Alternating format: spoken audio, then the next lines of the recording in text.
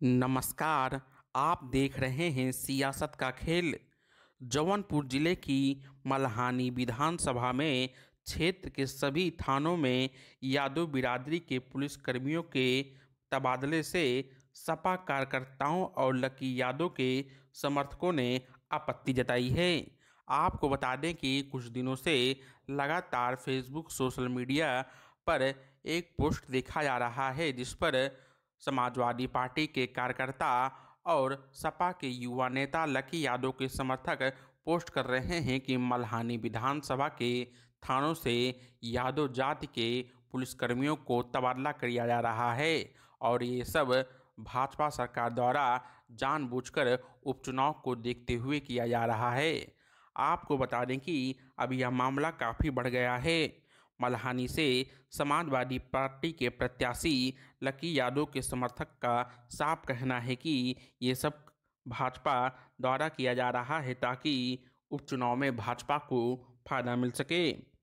वहीं अब इसी मामले पर समाजवादी पार्टी के दिग्गज नेता पूर्व सांसद रमाकांत यादव ने अपने फेसबुक के ऑफिशियल पेज से पोस्ट के माध्यम से सपा नेता लकी यादव का समर्थन किया है।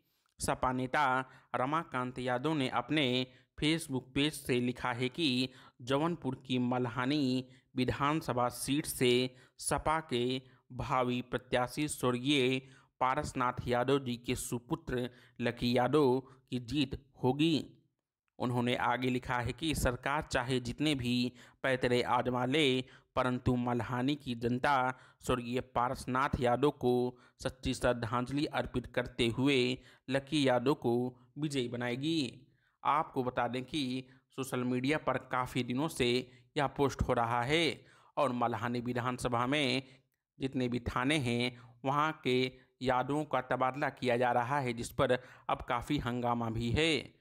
सपा नेता बाहुबली पूर्व सांसद रमाकांत यादव ने इस मुद्दे पर लकी यादव का समर्थन किया है और उन्होंने अपने फेसबुक के ऑफिशियली पेज से उन्होंने कहा है कि भाजपा चाहे जितना पैतरे आजमा ले जीत लकी यादव की होगी।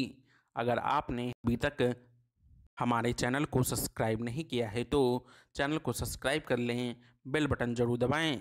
वीडियो देखने के लिए धन्यवाद।